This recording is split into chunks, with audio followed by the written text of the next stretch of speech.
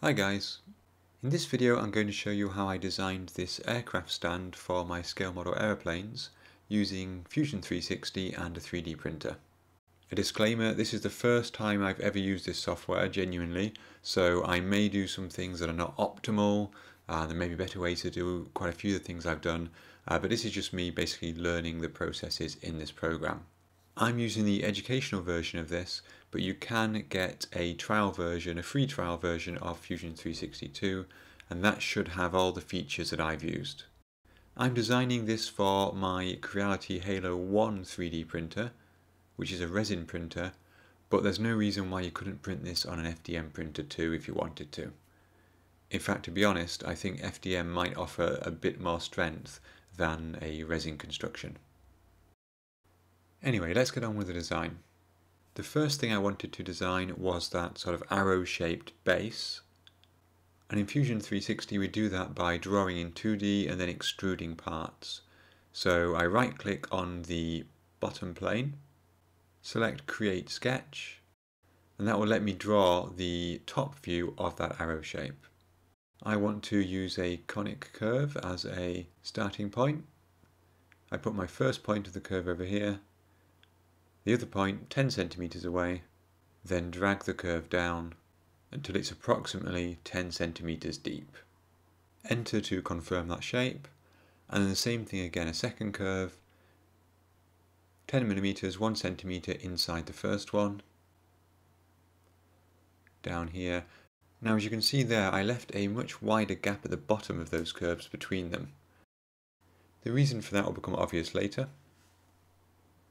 Then I used the straight line tool and I joined the top of the two curves there on the red axis, the x-axis. And you can see that's given me that solid shape there, highlighted in blue.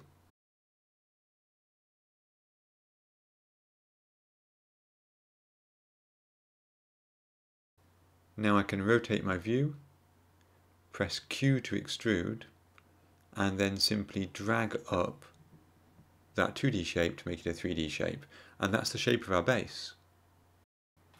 So that's really powerful and also really quite easy. I want to make it look a little bit fancy though, so I need to select the top outer edge of this shape. It can be a bit fiddly to do that. Go to Modify, go to Chamfer, and I want maybe a 5mm bevel there on the edge, as you can see. Click OK, and that just gives it a bit more of a sort of a, a sleek look. That's quite nice, I like that. So far, so good. Now I want to make a rectangular recess in the curve for the vertical part of the stand to go into. The process for that is the same as drawing the initial base. We draw it in 2D and then we extrude it into 3D. But this time we're drawing onto the shape rather than just drawing onto the plain white background. So to do that I select the top face of the arrow shape, I right click on it and click create sketch. Again that puts me into 2D top down view. Then I can select a rectangle and draw a rectangle where I want it on this shape. I made mine 6 by 10 I'm printing in resin. If you're using an FDM printer, I suggest you give it an extra half millimeter compared to the size of the arm, as you need a bit more space for tolerance.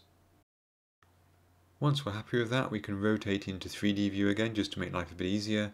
Click on that new rectangle, press Q to extrude, but this time instead of being a positive extrusion, like that's plus 5 millimeters going upwards, I put a negative extrusion, minus 5, and it takes away from that base.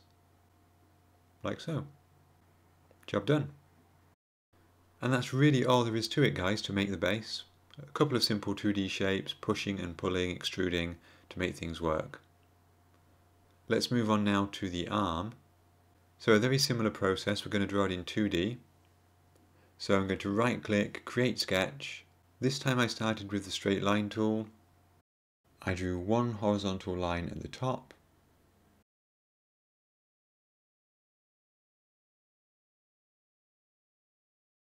three lines at the bottom because that would be the bit that slots into the base. I made those 10mm across because that's the size of the slot in the base.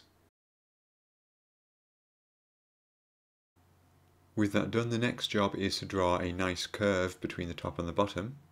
There's a few ways to do that in Fusion 360, but one of these simple splines is probably the easiest way to do it.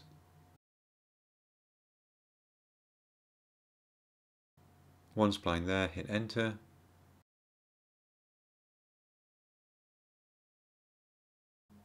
A second one for the back side.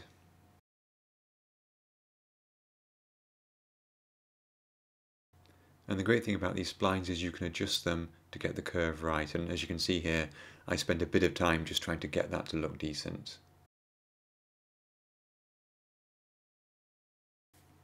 But once I was happy with that, you probably guessed it by now, rotate back into 3D view, select the shape we've created, press Q to extrude, and extrude it upwards. This time, because the width of that hole in the base is 6mm, I need to extrude it upwards by 6mm. What I wanted to do was have a slightly inset area on this arm, just to make it look a bit more attractive. So I select the top face of our shape, which will be the side of the arm later. Press O to offset.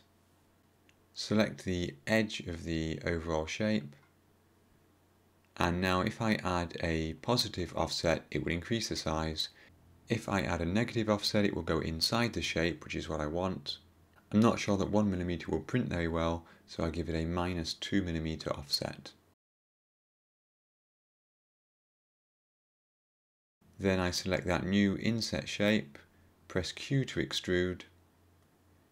If I give it a positive value, that will extend it outwards. So let's just say 10 millimeters, for example, so you can see that.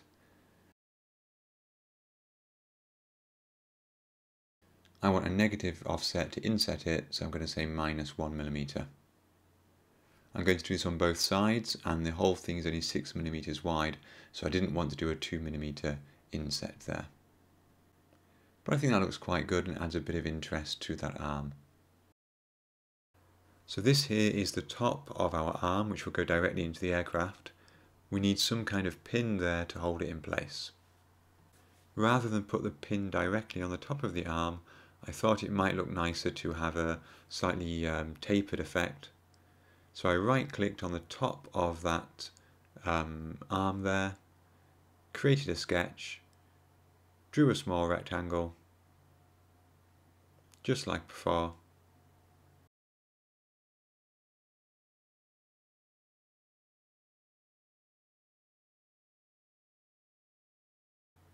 I press Q to extrude it, and made it extrude 5 millimeters.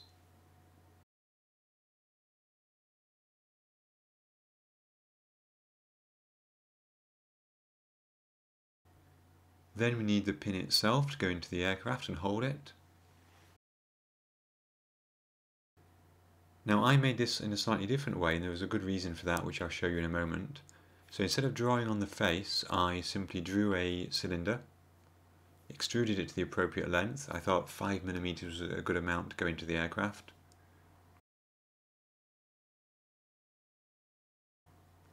I rotated it and moved it into the correct position.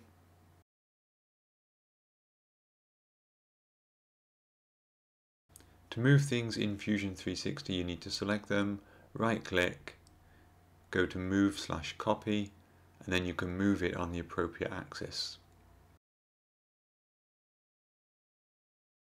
So here I am moving that pin to the center of that object. That will go now into the aircraft and it will hold it nicely on the stand. Now why didn't I just draw that circle on the flat face and extrude it? Because I also wanted the option to have the aircraft banking at a certain angle, which means that cylinder would need to go at a certain angle too. So by making the cylinder separate like this, I can right click on it go to move slash copy and I can rotate it a few degrees there and just move it close to that block again to make sure it actually is part of that block. And there we go, that should give my aircraft a bit of a bank angle there if I so desire. So I can print one of those arms with the cylinder vertical and one with a slight angle and of course I can always come back to this software and change the angle of that at a future date. Now guys, as I said, I did export this as an STL file. I um, sliced it from my printer and I printed a prototype copy. There was only one minor problem with that prototype and it was a pragmatic problem related to printing. And that is I printed the base like this flat on the build plate. It came out fine. However, there's quite a large surface area here stuck to the build plate and it was really hard to get it off the build plate. I couldn't get anything under the corner to, uh, to leverage it off. It's not that it's sticky as such, but there's, there's quite a lot of suction there against the build plate. So in my version 2 stand, I simply wanted to make a couple of holes to give myself some leverage for removing it from the build plate.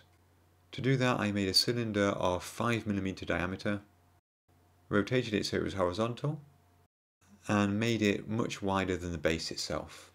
Then I moved it upwards so it was overlapping the base halfway, so 2.5 millimeters.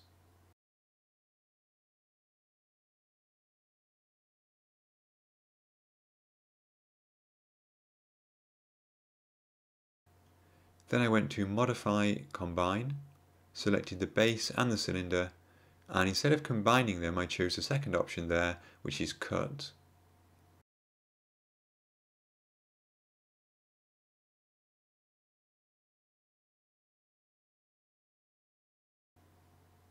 gave that an OK, and that has cut the cylinder away from the base and left those little holes there.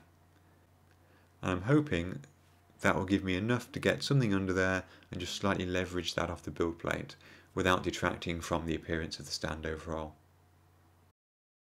And there we go guys, that's all there is to it. Export it as an STL, put it through your slicing software, and this is what it looks like when it comes out of the 3D printer. I gave mine a coat of Tamiya semi-gloss black straight from a rattle can, and that's done a great job of giving some new life to my older models and clearing up some space on my shelves. And I'll even use it for my upcoming Lancaster project.